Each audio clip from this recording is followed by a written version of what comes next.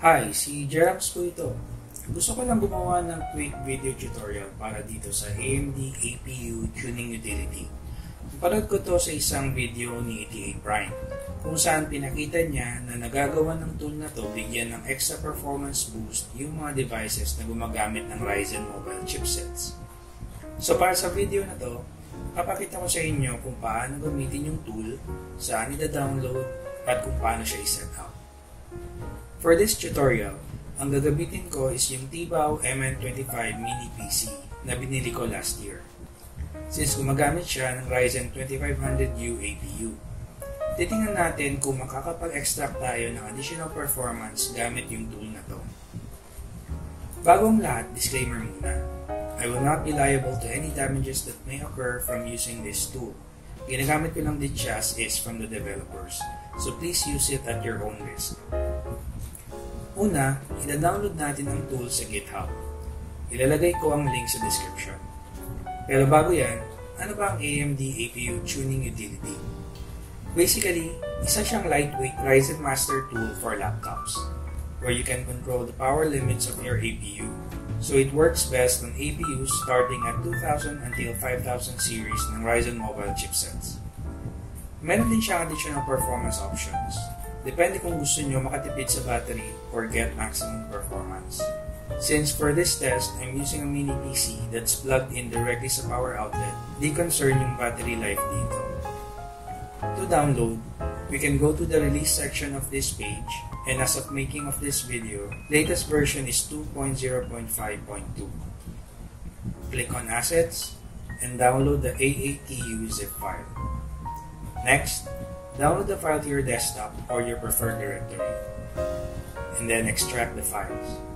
Now if you want, you can create a shortcut of the tool to your desktop for easy access. Then start na natin yung application. Alright, so ito yung main screen ng tuning utility. Ang una natin gagawin dito is under pre-made presets. Dito, pipiliin kung ano ang APU ng system. And in my case, yung MN25 is using the Ryzen 2000 series APU. For the device presets, it's 2500U. Again, this will vary depending on the APU of your computer or laptop. So ito yung presets niya. By default, it's using 25 watts for the power limit. The next thing na kailangan natin gawin is to import the presets. So click Import into Custom then go to custom presets. Now, we can see na na-import na yung default values dito. To save these values, lalagyan ko siya ng name as default, but you can change it to any name you want.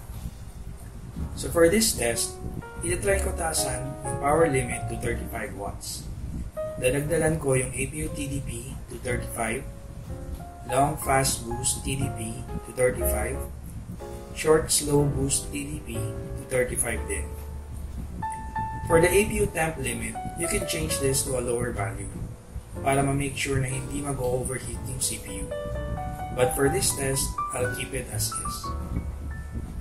For the power settings, since yung power supply ng mini PC ko maxes out at 65 watts, so I'll change this to 65. For memory settings, wala akong binago dito.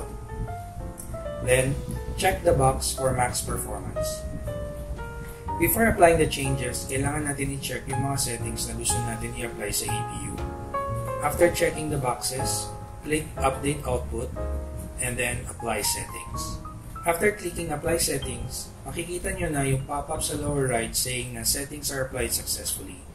That means applied na yung adjusted power limits. To check if na-apply na yung power limits, you can use any hardware monitoring tools. In my case, ginagamit ko yung hardware info titingnan natin yung core and SOC consumption, which is now at 28 watts. Magraran ako ngayon ng CPU benchmark application, Prime 95, para makita natin kung nadagdagan yung power usage and see kung ano yung temps natin.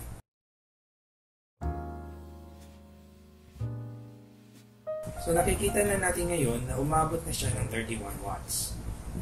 Nagtataka rin siguro kayo kung bakit hindi siya umabot ng 35 watts, kahit yun yung sinet ko sa tuning utility.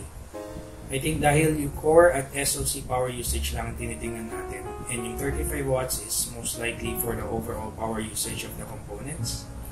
Not sure. Let me know kung may idea kayo kung bakit din.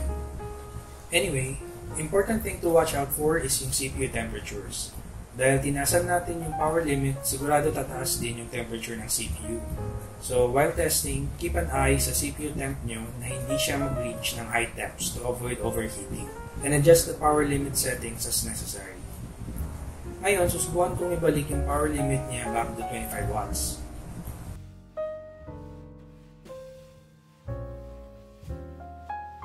So now, yung core at SoC power, nasa 21 watts lang yung maximum. At least yung temperature hindi sobrang taas. So I think kailangan ng balancing dito para makuha yung sweet spot. Kung saan may increase sa power limit, but at the same time, hindi aabot sa extremely high temperatures yung CPU. Your mileage may vary. Kama. Pwede nyo rin subukan palitan yung thermal paste kung magkakaroon ng improvement sa temperatures. Sinubukan kong palitan yung thermal paste nitong mini PC dahil pangit yung nilagay nila from the factory. Pero I think I still need to get a better one since mukhang sobrang taas pa rin ng temps ng CPU ko. Anyway, kapag okay ka na sa settings ng power limits, you can save it as a custom preset. For my case, I'll just name it as 35 watts. Then save preset. So ngayon, may option na ako to select the default and yung 35 watt modification kung gusto ko magkaroon ng performance increase. And for the benchmark, ikakabit ko yung mini PC sa capture card para makita natin yung actual frame rate improvement ng adjusted power limit compared to default.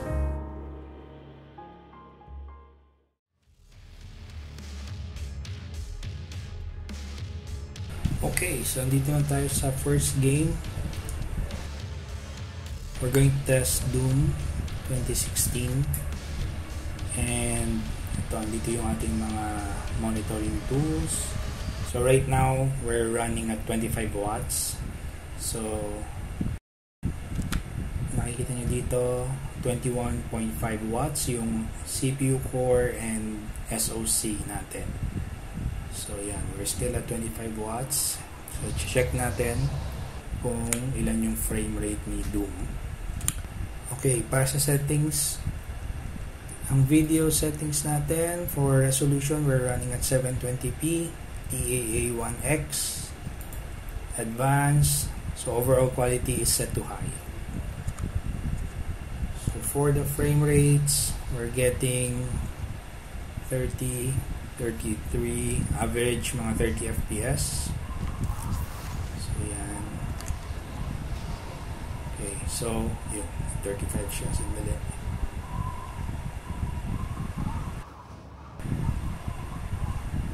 Okay, subukan naman nating taasan yung preset natin to 35 watts. Okay. So, yun, kitang-kita natin by increasing the power limit to 35 watts, ngayon nasa 38 FPS na tayo at umabot na siya ngayon ng 40, 50 FPS. So, dito, kita natin, pumapatak na ng 31 watts yung core CPU at SoC.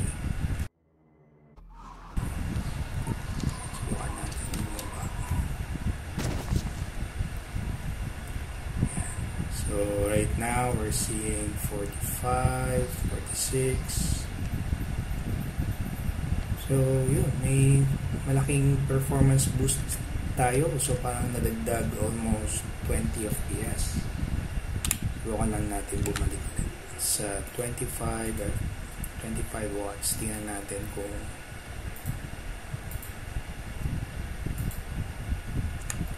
yan. So, going back to the 25 watts, nakikita natin na sa mga on this particular area, nasa mga 35 FPS tayo using the default power limit. Taasan natin ulit.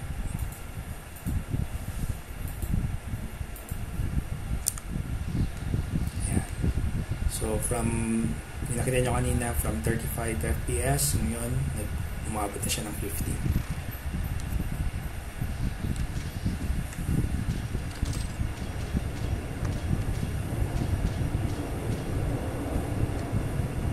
So I think laking advantage talaga nitong tool na to.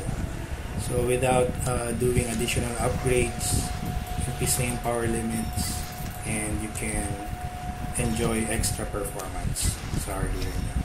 Ang kailangan nyo lang talaga i-monitor dito is yung uh, CPU temperature. So as you can see, nasa 89 degrees na tayo. Nandun tayo sa dangerous levels of getting to 90 degrees. So yan yung kailangan natin bantayan. So we may have to use additional cooling. So kung meron kayong mga laptop coolers na pwede nyo uh, i-set up sa mini PC nyo. So I think that will also help improve the temperature or at least uh, lower it to safe levels. So yun, ngayon 90 degrees na siya. Alright, so next game, subukan natin yung Days Gone.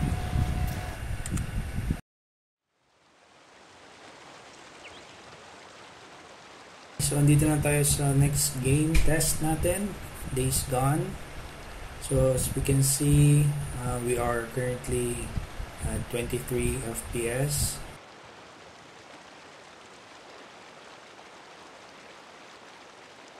So, first level pa lang tayo ng game. And uh, we're running at uh, default 25 watts. So, yun, 23 24 FPS. So, as we can see here, uh, 21 FPS. You, ah, sorry. Uh, 21, nasa 21 watts tayo ngayon. And susubukan natin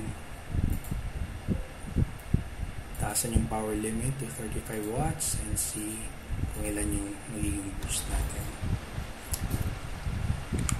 Alright. So, from 23, we're now at least reaching 30, well, 29 to 30 FPS.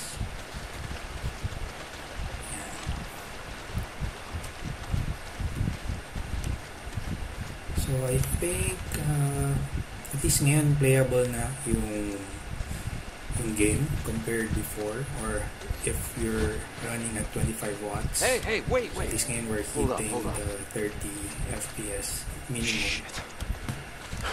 All right, let me see. mostly 30 FPS. Um, settings for this game.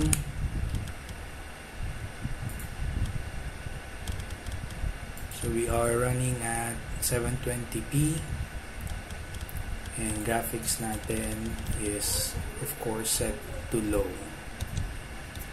Well, um, medyo mabigat tong game na to so it's still amazing that it's actually running on an old um, Ryzen second gen APU. Where the hell's he going? There isn't shit out of here but a bunch of freaks. Maybe I was wrong. About him having to deal with Copeland. No, Leon's been fencing shit to Copeland for a long time. Finally caught up with him. So there you have it. I think uh, that's it for this video. Uh, I hope na may natutunan kayo and hopefully makatulong din tong utility na to sa mga laptops or mini PCs nyo that's still running the, the older generation of Ryzen APUs. Thank you guys for watching and uh, see you in the next video.